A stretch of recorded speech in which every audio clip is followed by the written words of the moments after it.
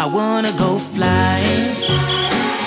בסדר, מה, רק אני לא בסדר? אתה יודע מה, בוא תן לי לספר לך על חג הדברים שמעצבנים אותי אצלה, בסדר? אני יכול לספר מה ש... השבוע האחרון? אני יכול- תציף. תציף, רמי, כן? בבקשה, כן. אוקיי.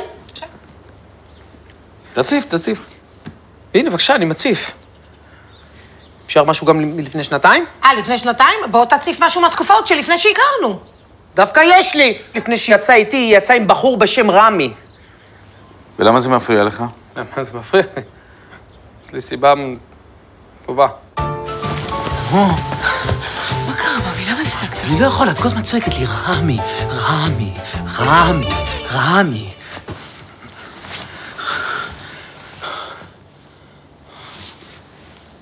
I wanna go flying.